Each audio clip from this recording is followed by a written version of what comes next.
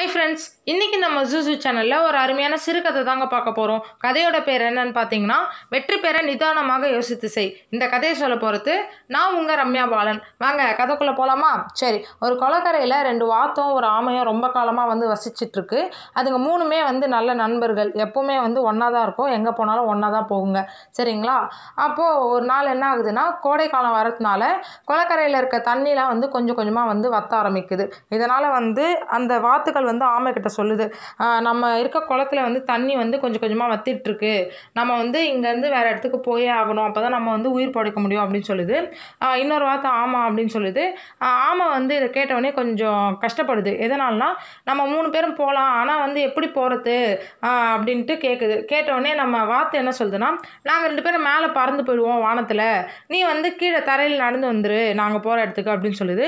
இதை கேட்டவுடனே ஆமைக்கு வந்து ரொம்பவே கஷ்டமாக இருக்குது ஆமை உடனே கண்ணீர் விட்டு அழ ஆரம்பிச்சிடுச்சு. இதை பார்த்தோன்னே வாத்து கேட்குது ஏன் அழற? அப்படின்னு கேட்கும்போது ஆமாம் என்ன சொல்லுதுன்னா நீங்கள் ரெண்டு பேரும் வந்து வானத்தில் சுலபமாக சீக்கிரமாக பறந்து போயிடுவீங்க. ஆனால் எனக்கு அப்படி கிடையாது.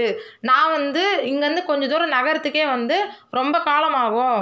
எனக்கு வந்து ரொம்ப கஷ்டம் அப்படின்ட்டு நம்ம ஆமை சொல்லுதுங்க ரொம்ப வருத்தத்தோட. இதை கேட்டவுடனே நம்ம வாத்து என்ன பண்ணுதுன்னா அதுவும் சரிதான். நம்ம நண்பன் எப்போவுமே வந்து நம்ம கூட தானே இருந்தான். நம்ம மூணு பேரும் எப்படியாவது ஒன்றா போயே ஆகணுன்ட்டு யோசிக்க ஆரம்பிக்குதுங்க. அதில் ஒரு வாத்துக்கு வந்து நல்ல யோசனை வருது. அது வந்து உடனே சொல்லுது.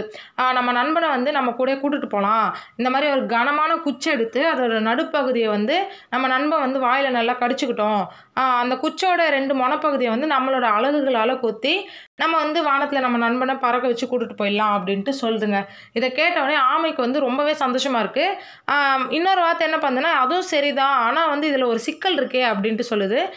ஆமை வந்து திடீர்னு அதிர்ச்சியாக பார்க்குது என்ன சிக்கல்? அப்படின்னு கேட்கும்போது அந்த வார்த்தை என்ன சொல்லுதுன்னா அதை ஆகாயத்தில் நம்ம மூணு பேரும் பறக்கும்போது ஆமை நண்பன் வந்து ரொம்ப கவனமாக இருக்கணும். எதனாலனா அவனுக்கு வந்து குச்சை வந்து வாயால் தான் வந்து பிடிச்சிட்டு வரான். அதனால் பேசினா கண்டிப்பாக வந்து கீழே விழுந்துரும் அப்படின்ட்டு அந்த வார்த்தை சொல்லுது. இதை கேட்டவுடனே ஆமை என்ன சொல்லுதுன்னா நான் நான் வந்து வாயை திறக்க மாட்டேன் எதுவுமே நான் பேச மாட்டேன். ரொம்ப வந்து யோசிச்சு பண்ணுவேன் செய்வேன் அப்படின்ட்டு ஆமாம் சொல்லிடுது. சரின்ட்டு இந்த ரெண்டு வாத்தை வந்து ஒரு பெரிய குச்சி எடுத்துகிட்டு வருது. அதோட நடுப்பகுதியை வந்து ஆமை கடிச்சிக்குது. அதோட ரெண்டு மொனப்பகுதியை வந்து வாத்துங்க வந்து அதோட அழகுகளால் பிடிச்சி பறக்க ஆரம்பிக்குது. மூணு பேரும் ரொம்ப அழகாக ஆகாயத்தில் பறக்கிறாங்க. நல்லா அந்த ஆமை வந்து எதுவுமே பேசல அமைதியாக வந்துட்டுருக்கு. அப்படி பறந்து போயிட்டே இருக்கும்போது கொஞ்சம் தூரம் கழித்து நகர்பகுதிக்கு நம்ம ரெண்டு வாத்தை வந்து பறந்துட்டுருக்கு. பறக்கும்போது கீழே நிறைய மக்கள் வந்து நடமாடிட்டு இருக்காங்க. நிறைய சின்ன பசங்களாம் வந்து விளையாடிட்டு இருக்காங்க. இந்த மூணு பேரை வந்து வானத்தில் பறக்கத்தை பார்த்தோன்னே மக்கள்லாம் வந்து ரொம்ப ஆச்சரியமாக பார்க்குறாங்க என்னடா இது? ரெண்டு வாத்தம் சேர்ந்து ஒரு ஆமையை வந்து அழகாக வந்து தூக்கிட்டு போதே கொம் ஒரு சின்ன குச்சியில் அப்படின்ட்டு எல்லாருமே ஆச்சரியமாக பேசுகிறாங்க அதில் பாதி பேர் வந்து கத்தி ஆரவாரம் பண்ணுறாங்க பாருங்களேன் ரெண்டு வாத்தம் வந்து எவ்வளோ அழகாக ஆமையை தூக்கிட்டு போகுது அப்படின்ட்டு. இந்த சத்தம் வந்து மேலே வரலாம் கேட்குது நம்ம வாத்தங்களுக்கும் கேட்டுடுச்சு. ஆனால் வாத்தங்க வந்து எதையுமே வந்து காது கொடுத்து கேட்கல எதனால்னா நம்ம வந்து குளத்துக்கிட்ட நெருங்கிட்டோம்.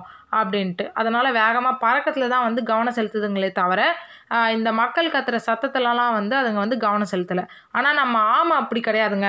ஆமை வந்து கீழே என்னவோ சத்தம் போடுறாங்க என்ன தான் பேசுகிறாங்க இந்த மக்கள் எதுக்கு கத்துறாங்க நம்ம தெரிஞ்சுக்கணும் நம்மளை பற்றி தான் பேசுகிறாங்களா அப்படின்ட்டு அதுக்கு ரொம்ப ஆவலாக இருக்குது அது என்ன நிலமையில இருக்குன்றத மறந்துடுச்சு சரிங்களா?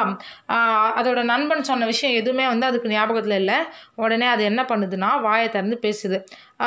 என்ன நண்பர்களே இந்த மாதிரி கீழே ஏதோ மக்கள் ஏதோ சத்தம் போடுறாங்க நம்மளை பற்றி தான் பேசுகிறாங்களா அப்படின்னு பேசிகிட்டு இருக்கும்போதே நம்ம ஆமை வந்து கீழே விழுந்துடுச்சுங்க.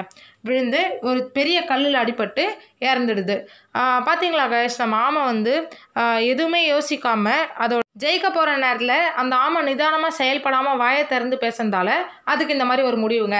அதே மாதிரி தாங்க ஒரு மனுஷனோட வாழ்க்கையில் அவன் எந்த அளவுக்கு புத்திசாலித்தனமாக இருக்கான்றத விட எந்த அளவுக்கு நிதானமாக இருக்கான் அப்படின்றது தான் முக்கியம். எதனாலனா ஒரு வேலையை வந்து செய்யும் போது கண்டிப்பாக வந்து எவ்வளோ நிதானமாக இருந்தாலுமே கூட நிதானம் வேணும். அப்படி நிதானமாக இருந்தால் எந்த இடத்துலையுமே வந்து தப்பு வராது. சரிங்களா? உங்களோட ஆஃபீஸ்லேயே நீங்கள் ஒர்க் பண்ணும்போது கூட நீங்கள் வந்து நிதானமாக ஒர்க் பண்ணால் உங்களுக்கு வந்து எல்லா வேலையுமே வந்து ரொம்பவே வந்து சரியாக முடியும். சரிங்களா? அதனால் ஒரு மனுஷனுக்கு வந்து முதல்ல தேவைப்படுற ரெண்டே விஷயம் வந்து தைரியம் இன்னொன்று வந்து நிதானம். இது ரெண்டுமே இருந்தால் உங்களோட வேலையில் வந்து எப்போவுமே வந்து தோல்வியே வராது. நீங்கள் எந்த முயற்சி பண்ணாலுமே வந்து நிதானமாக பண்ணுங்கள் எப்போவுமே வந்து உங்களுக்கு வந்து வெற்றி நிச்சயம். சரிங்களா? அதுக்கு இந்த ஒரு கதை வந்து உதாரணமாக எடுத்துங்க இந்த கதையை சொல்கிறது நான் உங்கள் ரம்யா பாலன்.